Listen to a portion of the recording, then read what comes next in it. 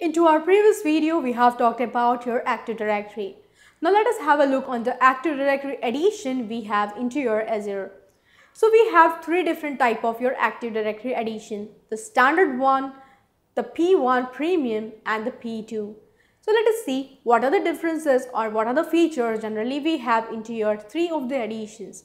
The basic addition which we generally use is called as your standard addition which includes different features and different productivity roles to you. For example, you have a productivity enhancing and a code reducing features like you can provide a group based access control list over here. You can also provide a self-service password reset by using your Active Directory and the Azure Active Directory application access. So here this particular Active Directory features we have into your standard.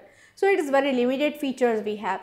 You can also go for the paid premium services of your Active Directory.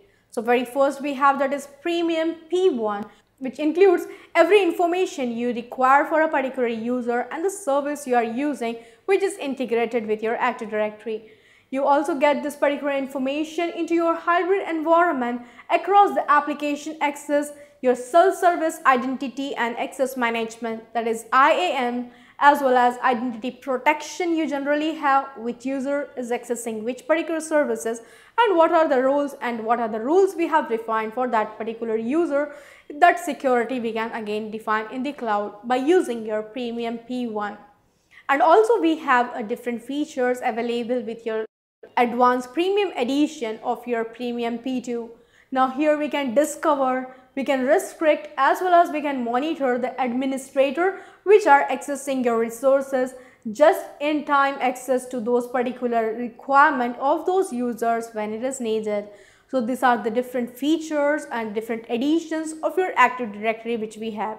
So as we know the standard or the basic Active Directory is a free of cost. If we go for our pay as you go services which is premium 1 and premium 2, we have certain features for authenticating or you know restricting your users.